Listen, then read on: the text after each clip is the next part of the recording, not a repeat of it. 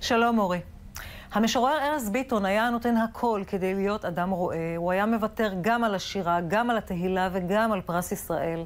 הילד שבגיל 11 התנודד בין חיים למוות, הפך להיות עובד סוציאלי שעבד עם אוכלוסיות מוחלשות במשך 20 שנים. לאחר שנתקל בפיוט של רבי דוד בוזגלו, חזר לשורשים, והיה הראשון להכניס את השפה הערבית לשירה העברית. למרות זאת, חיכה שנים רבות עד שקיבל את פרס ישראל. לרגל 70 שנים למדינה, אנו מארחים מדי ערב אדם שסיפורו האישי שזור בתולדות מדינת ישראל. 70 פנים, עם המשורר ארז ביטון.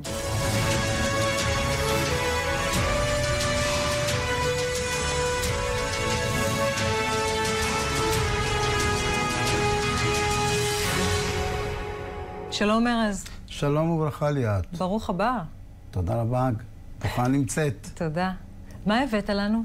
הבאתי מכתב של אה, אסירים מבית כלא, אה, בו הופעתי בפני האסירים, ולהרגשתי התחברתי אליהם, אה, אולי אפילו אפשר לומר לעומק, כי אני באתי מקטע שאומר שמה אני יכול להציע רגשית, רוחנית, לאסירים, לפעמים ביניהם גם אסירים לשנים רבות.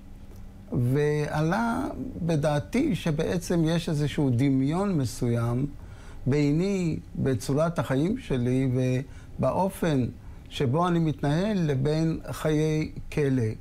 למה? אה, כי להיות אה, עיוור בעצם זה סוג של, של כלא. אבל מה בכל זאת, אה, החי... אם אפשר לדבר על חיובי בתוך זה, או האפשרויות כמעט בלתי מוגבלות בתוך המוגבלות. אה, וזה מה שניסיתי להציע, שלמרות הכלא האישי החיצוני בעצם, יש מסע, יש אפשרות למסע גדול, מסע אדיר, מסע פנימי וג... של, של אה, מפגש עם עצמך. ארז, אם לא היית עיוור, סליחה שאני קוטעת אותך, אתה חושב שהיית פחות פוגש את עצמך, חי בפחות מודעות, אולי לא כותב או כותב פחות טוב? יש לי שיר שאני אומר, כשהייתי ילד של אור, הצבעים התדפקו על אישוני עיניים, מתחרים ביניהם פתח פתח, והעצים שאבו אותי אליהם מהצמרות למעלה. בוא, חבק אותנו בגבהים. כשהייתי ילד של אור, המרחקים שאבו אותי אליהם במהירות של זמן אחר. אני זוכר את עצמי כילד, עד גיל 11, הגיל שבו התעברתי מפצצה, אה, שהייתי סקרן מאוד. היו לי עיניים שואבות, עיניים שקולטות כל דבר, מפנימות כל דבר. עובדה שבאמת עד היום אני זוכר את הלבן, את הלובן של השקדיה והצהוב של המשמש. והכתום של התפוז, והמפגש בין רגל יחפה לבין אדמה לחה אי שם בפרדסים של לוד, בסברס, כשהיינו הולכים וכותבים את הסברס ומנסים למכור אותו כדי לאסוף אה, אה, לירה, חצי לירה ועוד חצי לירה להיכנס לקולנוע אה, חמישה בעיר לוד. ואז? מה קורה בגיל 11? בגיל 11 נתקלנו אה, בפצצה ליד הבית. מי זה נתקלנו? התפוצצה. אני ועוד חבר, ועד היום לא ברור אם זה אה, פצצה שנותרה ממלחמת השחרור, או ככל הנראה, מה שיותר ודאי, של מסתננים שנקראו אז מסתננים פדאיון שנכנסו מבית נבלה סמוך ללוד, ואני זוכר באמת לילות לא מעטים היינו ישנים ועם אוזן דרוכה לאפשרות שאולי יזרקו איזה שהם רימונים לתוך הבתים. הפצצה מתפוצצת, ילד בן 11, נשארת בהכרה? זו פציעה קשה מאוד. אני עד היום חוזרת אליי החוויה הזאת של לאבד את המודעות, לאבד את ההכרה, בעצם סוג של המראה, סוג של תחושה שאתה נזרק כלפי מעלה, ונים ולא נים, בעצם היה סוג של מוות. היה מזל, אם אפשר כך לומר, זו גם שאלה פילוסופית, אבל מבחינתי היה מזל שעבר שם אדם עם טנדר, זרק אותי אל תוך הטנדר ודהר אל תל השומר. יש לי שיר שאני אומר, בליל הפציעה, אבי עשה משתה שכנים ביין ובמיני מגדנות, ואילו אמי פרמה שתי עיניה לעורבים. ואני כל הלילה מתהפך בדמדומי לשדל עיני אמי, להפיס דעתו של אבי, ועד לבוקר גמר החתימה של חושך. כלומר, בטנדר הזה, במרחק הזה, בין הבית בלוד לבין תל השומר, עברתי את החוויה של לחיות ולמות. לחיות ולמות, כמו אה, איזושהי אה, למפה, כמו שהיינו אומרים אז, איזושהי מנורה שנדלקת ונכבדת. זה גיל מאוד צעיר. לחוויה כזו. ילד בן 11 בלבד, ואז אחר כך אתה מגלה שבעצם לא תראה עוד. החוויה של לא לראות באה עליי מצד אחד באיזושהי המשכיות של אה, הכרה, אבל מצד שני כאיזשהו הבזק פתאומי שמכה אותך לחומש. אני אז שכבתי בתל השומר עם עיניים אה, סגורות, חבושות, ובאו אה, לבקר חולים שלידי, ואחד המבקרים שאל את קרובו, מה יש לילד הזה? והקרוב הזה אמר, הוא עיוור. וזו הפעם לא הראשונה? אני לא ידעתי שאני עיוור, כי עדיין לא פתחו את התחבושות. והנה איזה מין דפיקת גורל על השער, אתה עיוור. ולעכל את התהליך הזה, אה, אני עד היום, אני אומר שלפעמים קשה לי לפקוח עיניים בבוקר. אומר, אל תפקח עיניים בבוקר, שאולי אתה כן תראה, ואולי אתה לא תראה. והחוויה הזאת, הרבה, הרבה זמן אחרי העיוורון, הייתי מתקשה לפתוח את העיניים בבוקר, כי הייתי אומר, אולי אני אראה. למה לי לפקוח עיניים ולהצטער צער גדול על העובדה שאינני רואה? אגב, אה, אחרי העיוורון אה, עברתי ניתוח עיניים והתחלתי לראות בעין ימין וראיתי צבעים וראיתי עצים וראיתי מכוניות, אבל גם זה לאט לאט הלך ודעך והיטשטש ונעלם ונכחד. ארז, השירים, השירים הופיעו אחר כך, נכון? כן, ודאי. השירים הופיעו לא בגיל 11 כשאני נפצעתי, אלא קרה לי דבר מרתק. הרבה שנים כתבתי כישראלי לגמרי, כנער ישראלי, משורר ישראלי צעיר, באיזשהו היבט אה, אוניברסלי של יסודות אה, רגשיים, של אה, אהבה, אה, געגועים, מחאה. יש לי שיר שאומר, ואתם מבקשים שנסתחרר כמו רוח תזזית. ואתם מבקשים שניאנח ברמזים בעשן של סיגר, או לכל היותר בשריקה חרוזית.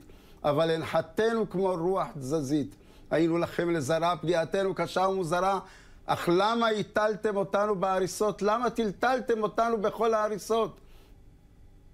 כלומר, הדחפים האלה של אכפתיות עצומה, של מה שקורה מסביב, גם ברמה החברתית, גם ברמה האישית, גם ברמה האוניברסלית. התחילו מתי? התחילו בגיל 17, 18. אני רוצה לשאול אותך רגע לגבי העיוורון בכל זאת. לו לא הייתה קורית לך הטרגדיה הזאת, אתה חושב שעדיין היית משורר? זוהי שאלה בעיקרה סוציאלית. היא לא היא לא שאלה... היא לא נפשית? היא לא שאלה נפשית? היא לא שאלה אה, רק נפשית. ברור שיש בה מרכיב נפשי. אבל צריך לזכור, אני גדלתי אה, בעיירה, בעיר, עולים, לוד, של שנות החמישים הראשונות, כשמערכת החינוך הייתה התחלתית לגמרי, כשהאפשרויות לחינוך היו מצומצמים, מצומצמות לחלוטין. קרוב לוודאי שאם הייתי נשאר כילד רואה, הייתי אולי ילד רגיש, אולי הייתי ילד נבון, הייתי קרוב לוודאי עובד בשדה התעופה בלוד כמו רבים מחבריי וממשפחתי. קרוב לוודאי שבוודאי, אולי בוודאי, לא, משורר לא הייתי. אה, אז אנחנו נשארים, נכנסים לשאלות פילוסופיות, מה עדיף?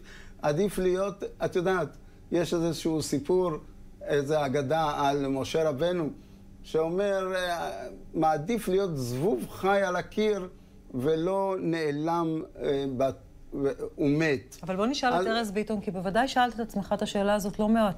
אני הייתי מעדיף להיות רועה, בריא, בעיר לוד, בתוך המשפחה ובתוך חבריי, ולא עיוור שלימים פסיכולוג, לימים עובד סוציאלי, לימים משורר, עיתונאי וכן הלאה וכן הלאה. חתן פרס ישראל. חתן פרס ישראל. ו... ארז, מה זה עושה לאמונה, טרגדיה כזאת?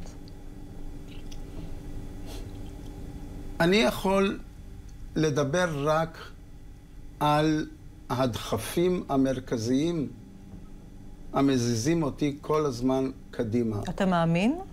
אני מאמין, קודם כל אני מאמין ב, אה, בכוחות האדירים של בן אדם לחלוץ את עצמו, להתדפק על העולם ולשאול את השאלות, לא תמיד עם תשובות, אבל עצם השאלה.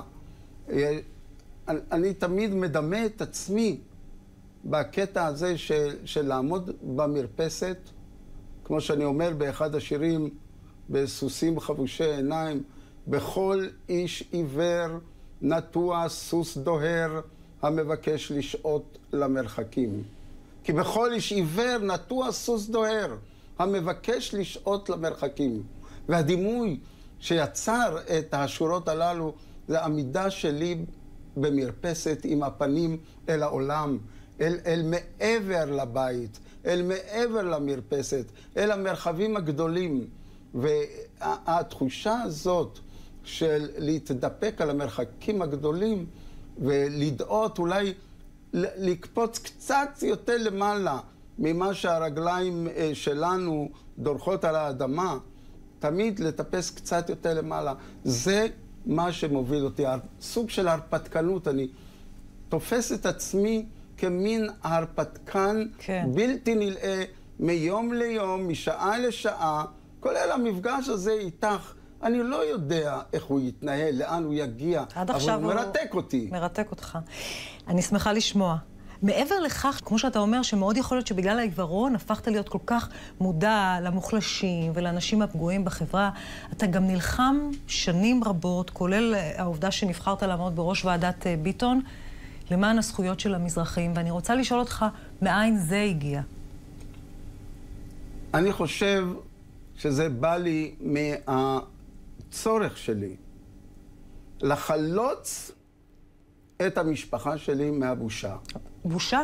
מהבושה ומהאכזבה בעצם עמוקה. איזו בושה? של יהודים שבאו מתוך תשוקה עצומה. מתוך אמונה חד משמעית, שמגיעים לארץ שהיא באמת ארץ תפוחים וחרובים ו- ו- ו- וכן הלאה. וכאן פתאום היה אבי צריך, אני אומר באיזשהו מקום בשיר, בשעה של שקיעה בארץ ישראל, אבי היה מפשיל שרוול מן המרפק ולמעלה ואומר, הנה תראו, מהמרפק ולמעלה הכל בהיר ונהיר ו... ויפה, וכל מה שמן המרפק ולמטה הכל כעור ודהוי ודחוי, ואני אומר לו, אבא, לבך בשמיים, אבל פניך, פניך בקרקע, ואתה אבא מקועקע. אז זאת אומרת, התחושה, הצורך הזה לפדות, לתת אפשרות לאבא ולאימא לצעוק את הצעקה שהם לא צעקו. כל החיים? כי הם היו תמימים, כי הם האמינו בארץ ישראל כפקט אלוהי בכלל. ארז, אנחנו נעשה עכשיו ברשותך הפסקה קצרה לתשדירים, ואנחנו מיד נשוב.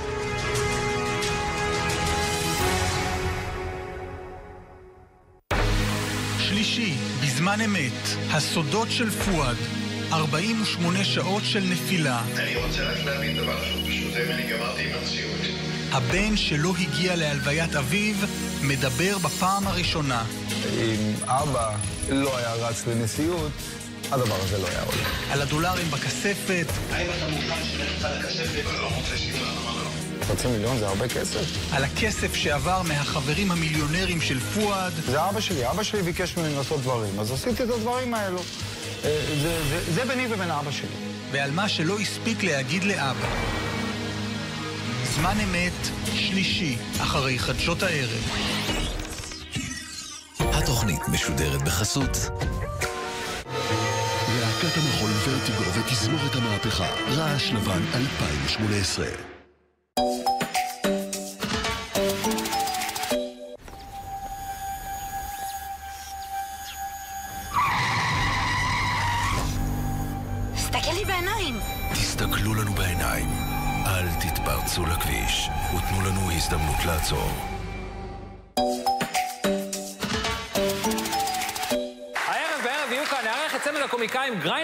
ואלתרמן, מה שלומכם חמודים? היה מעולה, יהיו קטעים הערב, וואו וואו. יש חבר לך על הפנאי. אוקיי, שימו לב, מי עוד יהיה בתוכנית? חבר הכנסת אחמד טיבי, וגם הכוכבים של היהודים באים, יעל שרוני ויוסי מרשק, וכמובן, דובלה גליקמן האדיר. הערב יהיו כאן מיד אחרי החדשות. הערב בעד כאן, נחנך שופטים, נשקם את אילת אחרי הליכודיאדה ונארח את אושיית הרדיו דידי הררי, שכבר גילה וטיפח מלא כישרונות. אגב, דידי, אם אתה רואה כאן משהו שאתה אוהב, תיקח. לא רואה שום כישרון. אוקיי, וחוץ מדודי רוזנטל. כולם מצוינים. מעולה, עד כאן, הערב. שלישי, בזמן אמת, הסודות של פואד, 48 שעות של נפילה. אני רוצה רק להבין דבר אחד פשוט, אני גמרתי עם המציאות. הבן שלא הגיע להלוויית אביו, מדבר בפעם הראשונה. אם אבא לא היה רץ לנשיאות, הדבר הזה לא היה עולה. על הדולרים בכספת, האם אתה מוכן שנלך איתך לכספת? לא רוצה. חצי מיליון זה הרבה כסף. על הכסף שעבר מהחברים המיליונרים של פואד, זה אבא שלי, אבא שלי ביקש ממני לעשות דברים, אז עשיתי את הדברים האלו. אה, זה, זה, זה ביני ובין אבא שלי. ועל מה שלא הספיק להגיד לאבא. זמן אמת, שלישי, אחרי חדשות הערב.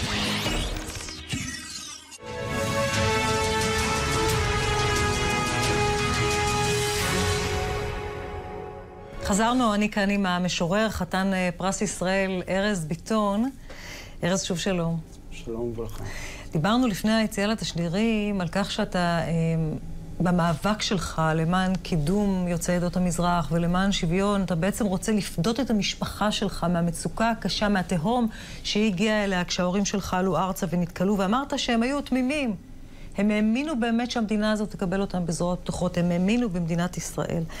ואז כשנפתלי בנט אה, מציע לך לעמוד בראש ועדת ביטון, מה היו הדברים הראשונים שרצית להכניס, או לא, אני לא אגיד להחזיר, להכניס לנרטיב הישראלי? קודם כל רציתי לבדוק מה קורה בתוכניות הלימודים, מה קורה בשטח של החינוך הפורמלי והלא פורמלי. מי מודר מספרי הלימוד של הילדים? את מי הילדים שלי והילדים שלך לא לומדים וכן צריך ללמוד אותו? לא מלמדים את ההיסטוריה של יהדות המזרח כמעט לחלוטין. באו לפנינו 18 קהילות והתחננו, תן לנו משפט אחד על קורותינו בתוך תוכניות הלימודים. אם זה הבוכרים, אם זה הקווקזים, אם זה הגורגים, אם זה המרוקאים וכן הלאה וכן הלאה. ואני, שאני אה, קורא ולומד מה שקורה בעולם כולו, אני תמה, תמהתי, איך אנחנו נמנעים כמעט במזיד מלהכיר איש את רעהו, מלדעת את ההיסטוריה האישית. תלמידים באו אליי ואומרים לי, אנחנו לא לומדים את מה שקרה לסבא ולסבתא וכן הלאה. אבל אתה יודע, אין, אתה לא יכול היום, אתה לא יכול היום להגיד שאין מקום עצום ליוצאי עדות המזרח בתרבות. תראה למשל מה קורה לזמר המזרחי. מה משגשג. שקורה, דבר מופלא. המהפכות בתוך התרבות הישראלית מתרחשות דווקא מלמטה. באות מתוך העם עצמו. אם זה הקלטות בתחנה המרכזית בשעתו, אם זה אה, שירה שהיא מתחילה עכשיו ל- לתפוס תאוצה, שירה שבאה מן הפיוט המקורי, אם זה האנדלוזי, אם זה הפיוט של שירת הבקשות של המרוקאים, אם זה הזמר של האישה התימנייה, דברים מקסימים, דברים בעלי עוצמות שהממסד מעולם לא נתן להם ביטוי בתוך, בתוך הרדיו, בתוך הטלוויזיה וכולי. אני מאמין שהדברים האלה הולכים ומשתנים. אני מרגיש שוועדת ביטון חוללה מהפכה. היא, אני מבחינתי, היא אצבע מורה, היא אצבע שנותנת כיוון ש, שלא ב, ביום אחד משנים. מה המטרה? המטרה להכיר זה את זה, לכבד זה את זה, להפסיק, כמו שאני אומר, להפסיק אחת ולתמים, ולתמיד את ההבדל בין ישראל ראשונה לישראל שנייה. שכולנו נהיה ישראל אחת. ובגלל שעוד לא הגענו לשם, בגלל זה קיבלת, גם לשיטתך, אני שמעתי אותך מדבר על כך, בשלב מאוחר כל כך את פרס ישראל, אתה סבור שהיית צריך לקבל אותו עוד הרבה קודם, נכון? אני לא יכול, אה, אני לא חבר בוועדות לקביעת... לא, אבל אני שמעתי אותך אומר בעבר שהיית... בסך הכל הייתה התכחשות לאפשרות של הזולת. אני למדתי הרבה מאוד דווקא מאלתרמן. שבשנת 54 הוא, הוא, הוא כתב את הטור השבועי שמדבר על המשמעות העצומה של לתת ביטוי לכ, לכלל קהילות ישראל, ולא רק למה שנקרא כור ההיתוך, לתת, לבטל לחלוטין מה שהיה. לא! הוא אומר, אנחנו צריכים לאמץ דברים טובים וחיוביים מתוך ההיסטוריה של כלל העם שלנו. כן, אבל ו... כשאלתרמן דיבר על כך זה בכלל לא קרה, וגם שם הייתה ההגמוניה וכל המשוררים והסופרים בוודאי ששלטו בכיפה היו אשכנזים. אני רוצה רגע לעצור אותך ולחזור לדבר שהתחלת לדבר עליו קודם וקשור לכך. אמרת שאתה כתבת בהתחלה כישראלי, כישראלי לכל דבר. מה קורה לך כשאתה נתקל בפיוטים של רבי דוד בוזגלו? מה קורה לך באותו רגע? ארשה לעצמי לומר משהו בניתר לשמוע את שמך. ארשה לעצמי לומר, עסיס אהבתי ניגר על סף דלתך. בוא מן הפינה אל במת הבמות רבי דוד בוזגלו, כי בלכתי אחריי הגעתי אחריך. אז מצאתי מפניי בפניך, שם כל חלומותיי עליך, אתה ואני ממצקת הדבש. איתך נפגשתי בעצם הנהרה. זה שיר שאני כתבתי בזמנו, כשלא ידעו מי זה רבי דוד בוזגלו. ולפעמים באמת, את יודעת, זה דבר מפליא, איך שיר אחד, שורות אחדות, מחוללות תפנית בתוך מודעות, איזשה, איזשה, איזשהו הדהוד שהולך כמו אבן קטנה שנזרקת למים, והיא עושה אדווה ועוד אדווה לגלים רבים. כי מה קרה לך? מה קרה לארז ביטון כשהוא נתקל בפיוטים של רבי? אה, אחרי שעזבתי את אשקלון, אחרי שבע שנים של עבודה בלשכת הסעד, ואגב הייתי עובד סוציאלי אקדמאי יחיד בשעתו בתוך לשכות הסעד באזור הדרום. ו... זה מאוד חשוב לך להגיד אקדמאי. אקדמאי. כי, כי לא נתנו, כי כל האקדמאים בשעתו לא הלכו ללשכות הסעד, חיפשו, רצו להיות פסיכולוגים קטנים.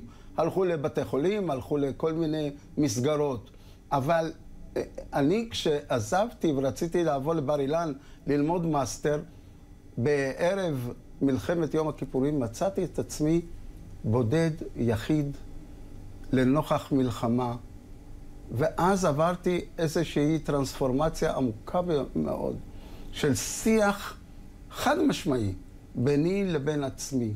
ואז התחילו לעלות כל השאלות הזהותיות. האם אני ארז? האם אני יעיש? השם המקורי שלי בערבית, ש...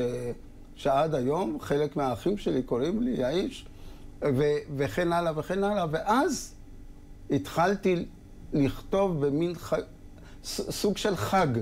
התחלתי לכתוב את זור אלפסיה, את אה, מי יפדה את עקרותיך לילה, אישה בן מסעודה, אישה עששה מרובעת, שכל ביתה קיטון ועץ אחד, ובעל זקן, שכל חייה בתבלינים, בפלפל, בכמון, בלקרוויה, בלב זר.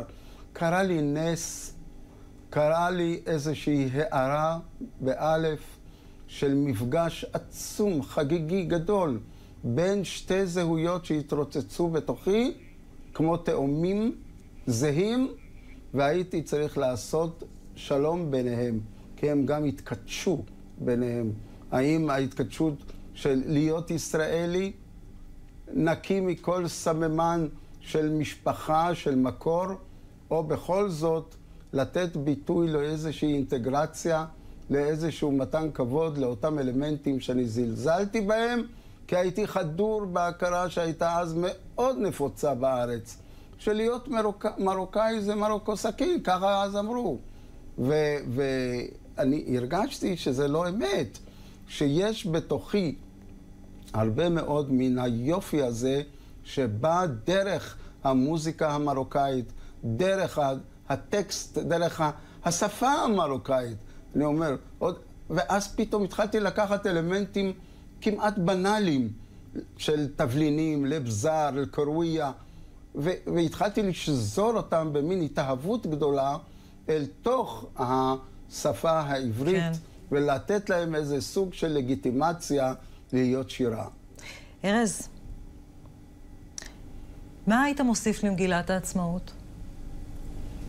מה שהייתי מוסיף זה התייחסות זקופת קומה ליהדות, לכלל הקהילות בישראל, מתוך אהבה של ישראל אחת, קירוב לבבות בין המרכז לבין הפריפריה, סולידריות כדבר מרכזי, וכל היתר יבוא לבד. ובאיזה שיר היית רוצה שנחתום את השיחה בינינו? אני הייתי רוצה לתת את השיר מעל פסגת הצופים, שיר של אביגדור המאירי, שיר נפלא שנותן תמצית, הוא מקפל בתוכו את כל המאוויים של האבא שלי ושל הרבה מאוד אבות ואימהות במשך מאות בשנים. ארז ביטון, אני מאוד מודה לך שבאת אלינו. תודה רבה.